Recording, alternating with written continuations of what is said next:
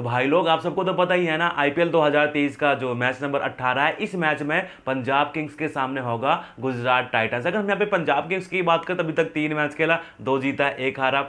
Gujarat Titans की बात करें तो ये कह रहे कि भैया, हम तो पिछले साल के चैंपियन थे, इस बार भी ना हमने जो तीन मैच खेले, दो जीते, एक हारे मतलब अगर देखें, दोनों टीमों की जो परफॉर्मेंस रही है अभी तक, वो तो बिल्कुल बराबरी की रही है। मतलब जो टीम यह मैच जीतेगी, वो तो आगे तो जाएगी, लेकिन दूसरी टीम को ना लात मार के कहेगी, चल पीछे रहे। मतलब पीछे ढकेल देगी दूसरी टीम को जो मैच जीतेगी और खुद तो आगे चली जाएगी। तो दोनों टीमें बोलेंगी, ना, हम मैच जीतेंगे और सामने वाली टीम को धक्का मार के पीछे छोड़ देंगे। वैसे हम बात करें आईपीएल 2022 पिछले सीज़न जो इनके बीच में दो मैच खेला गया था, पता है उस मैच में क्या हुआ था? एक गुजरात टाइटन्स जीतता है तो एक जीतता है पंजाब किंग्स। पंजाब किंग्स कहता है, भले अगले साल आप चैंपियन बने थे, मैं मानता हूँ, लेकिन मेरे सामने जब आए थे ना, हमने बराबर की टक्कर दी थी। एक आपने जीता था गुजरात टाइटन्स वालों तो एक में पंजाब किंग्स किंग्स बना था। तो भाई लोग, आज के मैच में क्या होगा?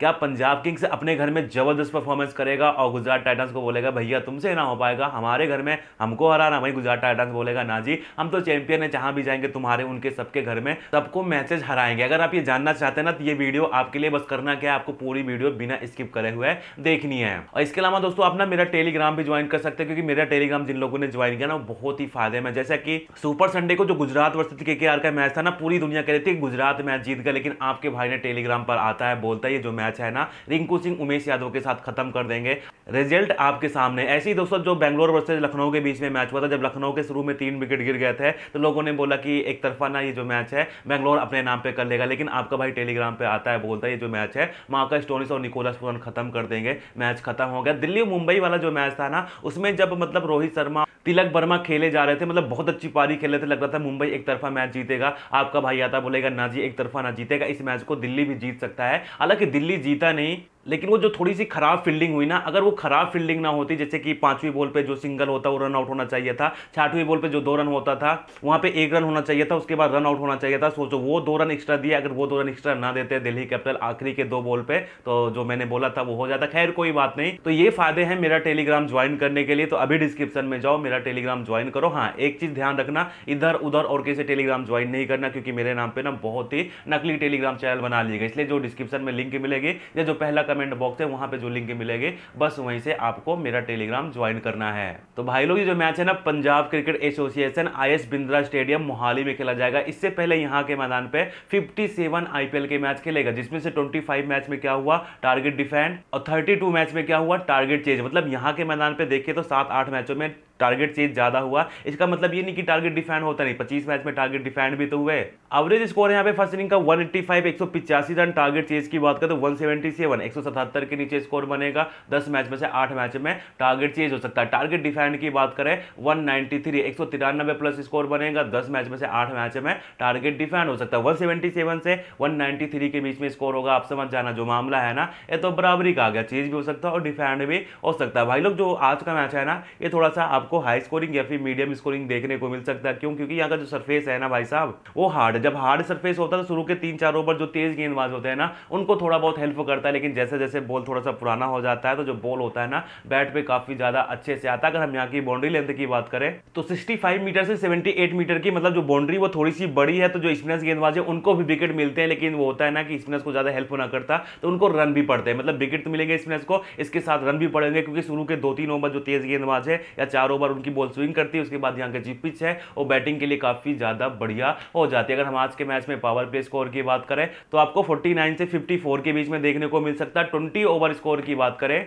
तो 180 से 190 के बीच में देखने को मिल सकता है। और भाई लोग, अगर हम यहाँ के मैदान पर दोनों टीमों की परफॉर्मेंस की बात करें तो पंजाब किंग्स ने 56 छप्पन मैच खेला, जिसमें से 30 मैच जीता और 26 से मैच हार गए। यानी पंजाब अपने घर में देखा जाए तो बहुत अच्छी परफॉर्मेंस ना कर पाता, क्योंकि छप्पन मैच में से 30 जीता 26 हारा मतलब एक जीतता है, एक हार जाता है। मतलब किंग्स अपने घर में किंग्स उनसे न बन पाता। गुजरात टाइटंस की बात करें तो पहली बार यहाँ के मैदान पर मैच खेलेगा, देखते जब पहली बार खेलेगा तो क्या कर पाएगा। उससे पहले भाई का चैनल सब्सक्राइब कर लो यार, क्योंकि आपको पता है ना, मैं कोई हीरो या सेलिब्रिटी थोड़ी ना मैं तो आपके बीच का रहने वाला, आपका अपना भाई हूँ। सोचो, अपने भाई का सपोर्ट अगर आप ही ना करेंगे तो कोई बाहर से आएगा, भाई का सपोर्ट करने के लिए। ना जी ना कोई भी ना आएगा, वो करना है क्या भाई? सब कुछ भी नहीं करना, बस चैनल को सब्सक्राइब करना, इतना तो आप कर सकते हैं। किंग्स की, अगर हम इनके खेमे में चेंजेस की बात करते हैं मे भी लियाम लिविस्टन आज का मैच खेलते नज़र आएँगे। अगर ये ना खेलेंगे तो मे भी भनु का राजा भी फिट हो गए तो वो दोनों में से कोई एक खेलेगा। और मुझे ऐसा भी लगता है कि ककीसो रबाडा भी ये मैच खेलते नज़र आएँगे। मतलब दो तीन चेंज हो सकते हैं किसके पंजाब के खेमे में। अगर हम यहाँ पे पंजाब की बल्लेबाजी की बात करें तो गब्बर शिखर धवन बहुत ही अच्छी फॉर्म में पिछले मैच में तो वन मैन आर्मी की तरह खेले थे। पर अब सिमरन सिंह की बात करें,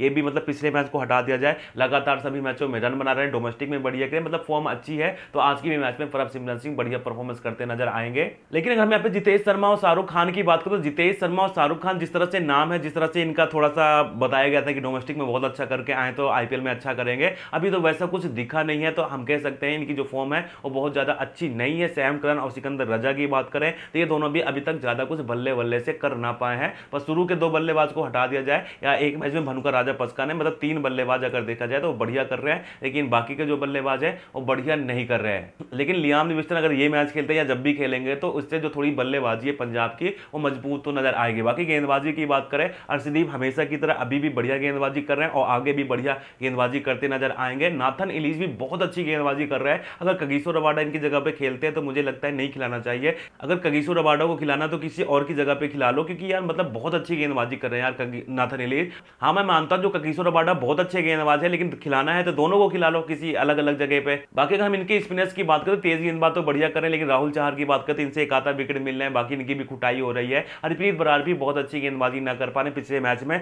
मोहित राठी को मौका दिया, वो भी बढ़िया गेंदबाजी नहीं कर पाए। मतलब जो इनकी स्पिन गेंदबाजी है ना, वो अच्छी नहीं चल रही मुझे लगता है अच्छा पता नहीं करेगी ना करे, लेकिन जो तेज गेंदबाज है, वो बढ़िया कर रहे हैं। बल्लेबाजी में शुरू के तीन बल्लेबाज बढ़िया कर रहे हैं, बाकी की बल्लेबाजी लाइनअप फ्लॉप है, गेंदबाजी की बात करें, तेज गेंदबाज बढ़िया कर रहे हैं स्पिन अच्छा नहीं कर पा रहे हैं। तो यहाँ पे जो पंजाब किंग्स की टीम है ना वो आधी अधूरी सी टीम नज़र आ रही वहीं दोस्तों, गुजरात टाइटन्स की बात करें अगर हम इनके खेमे में चेंजेस की बात करें तो मे भी हार्दिक पांड्या की वापसी होगी। किसकी जगह पे होगी? अभिनव मनोहर की जगह पे हो सकती है। बाकी इंपैक्ट प्लेयर आपको वही जोशुआ लिटिल देखेंगे। अगर हम यहाँ पे गुजरात टाइटन्स की बात करें, जो इनकी बल्लेबाजी है भाई साहब ना, वो काफ़ी ज़्यादा खतरनाक है, क्योंकि सुमन गिल और रिद्धिमान शाह ज़बरदस्त शुरुआत करते हैं, उसके बाद साई सुदर्शन आते हैं, कूटा गाड़ के खड़े हो जाते कहते हैं आ मुझे आउट करके दिखा, ये आउट भी ना होते रन भी मारते रहते हार्दिक पांड्या का बल्ला वल्ला ना चला था, लेकिन हार्दिक पांड्या बड़े बल्लेबाज है। आज की मैच में इनका मे भी बल्ला चल जाए। बाकी जिस तरह से विजय शंकर ने अपनी फॉर्म दिखाई है ना तो गुजरात टाइटन्स रहा है बल्ले बल्ले मतलब अपनी बल्लेबाजी तो और भी मज़बूत हो गई, क्योंकि इनके पास पहले से ही किलर मिलर डेविड मिलर अच्छे से फिनिश करते थे राहुल तिवतिया फिनिश करते थे, ज़रूरत पड़ने पर राशिद खान भी फिनिश कर देते थे अब विजय शंकर के फॉर्म में आने के बाद ना भाई साहब, जो इनकी बल्लेबाजी ना,